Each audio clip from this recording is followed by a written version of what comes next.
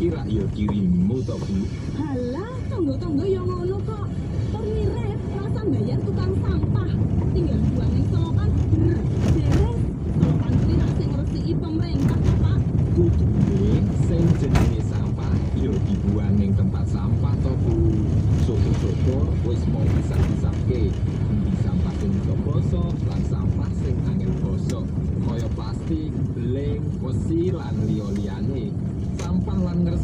lagi Bu, masalah pemerintah toh.